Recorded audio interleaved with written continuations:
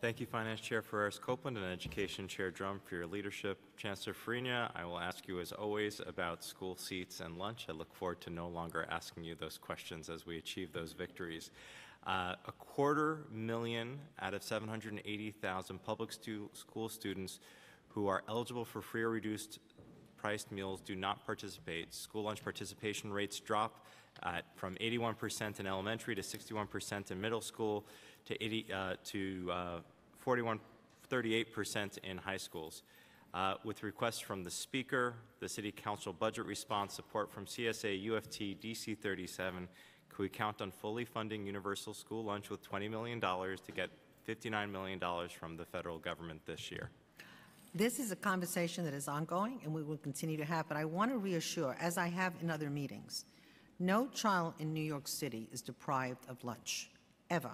76% are entitled to free lunch, and those who may, on a given day or week or whatever, not have the required monies will get free lunch. I will put out a memo in P Weekly, which is what I do, to make sure that all principals understand that the cafeteria workers are and should be giving out lunch to any student who needs it. I think, and I've said this before, and I've worked with some of you, you know, in committees, to me, the school lunch cafeteria environment is as important as some of the other things that we're doing.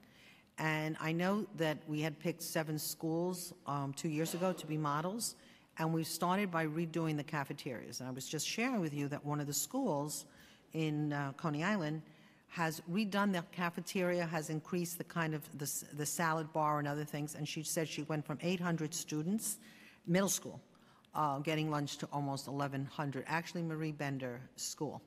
So I'm happy to take you to visit this, but I will certainly put in writing to all principals that no child at any time should be deprived of lunch as long as they're on the lunch line. So, so I think just along those lines, making sure that it's an official memo that has Absolutely. contractual binding rights so that local 372 lunch workers know that they uh, are able to provide this and that they will not be penalized in any way. And I think along the same lines, that no member of the school may engage in billing or collections practices for families or children who receive food for free in the cafeteria Well, without paying. I- I'm going to double, the first one I can do, the second one I'll let you know. Oh, Okay, I, I think it's just Yeah, important. because the first one has been practiced, I mean, I was a principal for 10 years, and this was common practice, and it was common practice across the whole entire, di- and when I was a superintendent and I had 184 schools, common practice. So I will make sure, but I'll get back to you with whatever we put out in writing by the end of the day. Thank you. Uh, I also want to thank you for agreeing that the Upper East Side needs school seats at the preliminary budget.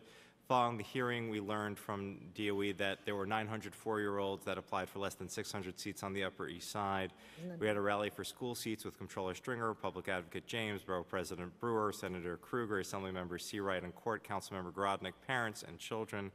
Has the Department of Education made any progress in opening new school seats on the Upper East Side for this coming school year?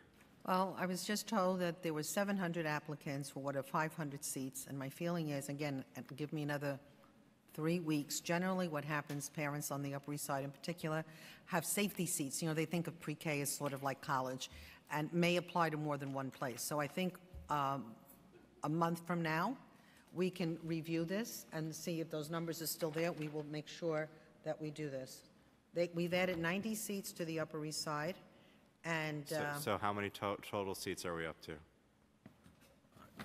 Which is the number? 497. So, th- so that's less than last year.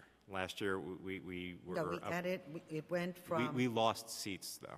We lost seats. So, so when you We're missing- took away the seats and then added 90, we actually lost 22 seats. again, I noticed PS6 has two additional, and they had none when I was a principal there, so, but anyway. Yeah. yes, I have to- So, Right, Go sit over there. so, so I think one of I'm the gonna frustrating have him here. I pieces, don't we're, wanna we're, give you we're actually information, losing seats on the east side this coming year versus gaining them. So, uh, just whatever we can do to open previously offered seats and then working with community-based providers who are willing to provide Oh. full-day seats. And I think we could get another 160 seats tomorrow if DOE is willing to say yes to the community-based providers and forcing the schools to offer certain seats that were offered previously. Okay, I'm going to let my pre-K expert answer. Go ahead. I have to swear you Okay. in. Oh, you have to swear him. Luke, I- Lucas, I need to swear you in, so if you could just raise your right hand. Yes. You solemnly swear or affirm to tell the truth, the whole truth, and nothing but the truth, and to answer council member questions honestly? Yes, I do. And would you state your name for the record, please? Uh, Lucas Kaler, I'm the Executive Director for Data Thank you. Analytics. Thank you. Um, So the 90 seats that we've added are since this last April. Um, As you know, the, we've lost the um, seats at Wagner Middle School, which was a one-year arrangement.